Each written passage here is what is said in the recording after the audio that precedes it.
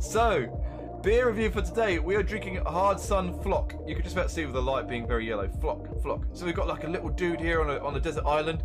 Um, so I picked this beer up the other day from um, a local little farm shop thing. It looks kind of cool. The can looks cool. So I've got some tasting notes here. It says, um, our first IPA brewed at Floc HQ. We've loaded this up with 20 grams per litre of our favourite hop varieties Idaho, 7 on the hot side with Simcoe, T90 Cryo, Citra, T90 Cryo alongside Galaxy for extra trop topics.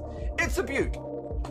Okay, that's fair enough. Um, it says it's an IPA, New England Hazy, 6.8%. Um, and that's it. That's all the information I've got on it from that. So let's see what it tastes like. Um, I there is a command for it, Dan. There is a command for it that the bot cycles. Okay, Dan. See you later. But there isn't a button for it on my Stream Deck. I don't have a Stream Deck button for it. Uh oh. Uh oh. I thought the can was about to boil over. Not boil over, bubble over. Whatever the cans do with a bubbling overness. I managed to realise how dirty my glass is. I've washed it, but it's kind of got one of those rings of um, water on it.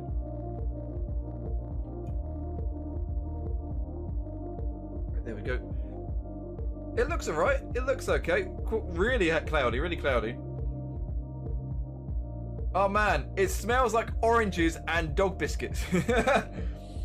Which is a weird. Boobies, don't you? You like the boobies, don't you? It's a weird scent combination. Dog biscuits and oranges, but you know, we'll go with it. We'll go with it.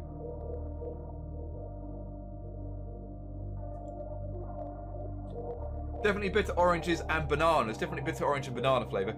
Quite a strong flavour as well. It's not one of those weak. Like recently, we've had a few weaker beers come through in terms of flavour. You kind of taste it. It's like you could probably sit here drinking that all night because there's no flavour. But this is a lot stronger. So I think this is one of the ones where you probably have one or two and you probably get a bit tired of it because it's such a strong flavour.